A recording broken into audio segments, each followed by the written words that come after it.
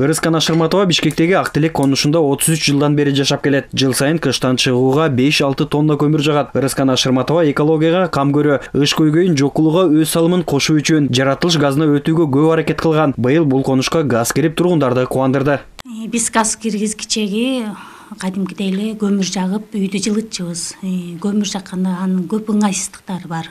Аны ташып келебиз жагабыз үйүбүздү жылытып андан тышкары анын күлүн чыгарабыз күлүн тазалыкка жүктөйбүз дегендейчи ыңгайсыздыктар көп эле. Кышында смог болуп атат ал андан биз өзүбүз дем алып атабыз ден соолугубузга зыян болуп атат. Анан өкмөт ушундай жакшы ыңгайлуу шарт түзүп берип атканда биз да салымыбызды кошуп ошо газга кошулуп алып газды пайдаланалы деп чечтик беш жүз түтүнү бар бул ак тилек конушу түптөлгөндөн бери тургундардын эңсеп күтүп келгени жаратылыш газын туташтыруу болчу. Быйыл мэрия тарабынан ыш көйгөйүн чечүү үчүн тогуз конуш толук газдаштырылды. Азыр эми бул экологияны таза жанагы смогко каршы болуп ошол көп жылдан бери он жыл болуп калды. Биз кайрылып ушул газ жаратылыш газын бизге коюп бергиле деп атканыбызга буюрса элдин баары эми сүйүнүп атат быйыл болсо эми ушинтип от жагып дагы эле көмүр алып жүрбөйт экенбиз. Газ киргизип алып баарыбыз жылуу жумшак үйдө отурат экенбиз деп. Бишкек шаарынын негизги көйгөйү болгон ыш маселесин бир жылда чечүү мүмкүн эмес экенин мэр эмилбек абдыкадыров билдирди. Айтымында жыл сайын күрөшүү менен ыш маселесин пайыздап гана түшүрсө болот. Бир эле жылда таптакыр смог маселесин чечип коем деген туура эмес. Муну процентном отношении жылдан жылга азайтып ушундай жасалып жаткан иш чаралардын негизинде смогту он процент он беш процент жыйырма процент отуруп бул акырындап акырындап жазалап тураң чечиле турган нерсе бирок бишкек шаары бүгүнкү кезде биз эмне иш жасадык бизге тийиштүү иш чаранын баардык пункттарын биз толугу менен аткарганга жетиштиксем мен жаңылбайм бишкек шаарынын абасын булгоочу негизги булактар кыш мезгилинде көмүр жагуу менен үйлөрдү жылытуу отуз пайыз абаны булгайт автотранспорттан чыккан ыш жыйырма тогуз пайыз. Жып жана от казандар он эки пайызга жетсе таштанды полигондогу өрт он пайыз абаны булгайт. Сегиз пайызды башка өнөр жай объектилери алып келсе мончолор жана тыюу салынган буюмдарды күйгүзүү беш пайызын алып келет.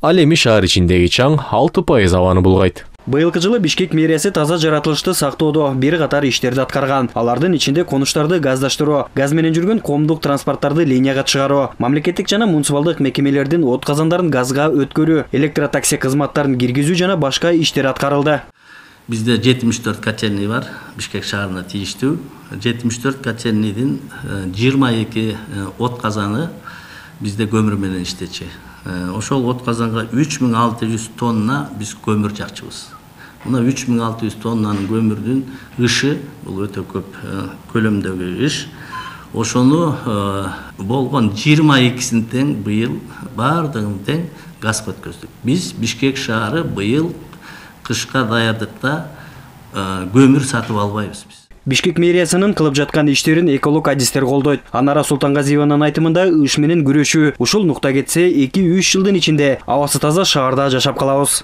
мэриянын баягы берген убадасын баарын ушу жигердүү аткара берсе бир эки үч жылдын ичинде биз ушул ыштан арылабыз деп мен ойлойм анткени ушундай эле чараларга ушул биздин коңшу мамлекеттер өткөн мындан тышкары ушул таштандыларды да жагып жиберебиз кудайга шүгүр ушул полигонду дагы өчүрүштү азыркы учурда өкмөт жаңы план кабыл алды. Ушул баягы таштандылардын маселеси боюнча мына ушинтип баягы жүрө жүрөгө чоңойлот дегендей жүрө жүрө ушундай жигердүү иш кыла берсе эки үч жылдын ичинде арылабыз бишкек шаарынын мэриясы бир эле таза экология же болбосо ыш маселеси менен күрөшүүдө эмес башка дагы алгылыктуу иштерди аткарууда мисалы турган болсок шаарды көрктөндүрүүдө жашылдандырууда бир талай иштер аткарылды ошол эле учурда борбор калаанын тургундарына ыңгайлуулукту түзүүдөгү жана болбосо жагымдуулукту алып келүүдөгү иштерди кылып келет мисалы турган болсок шаар ичиндеги жүргөн жаңы коомдук транспорттор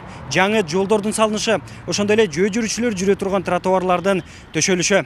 Мунун баары мэрия тарабынан кылынган иштерди деп атасак болот тилек айталиев элдар анарбеков лтр бишкек.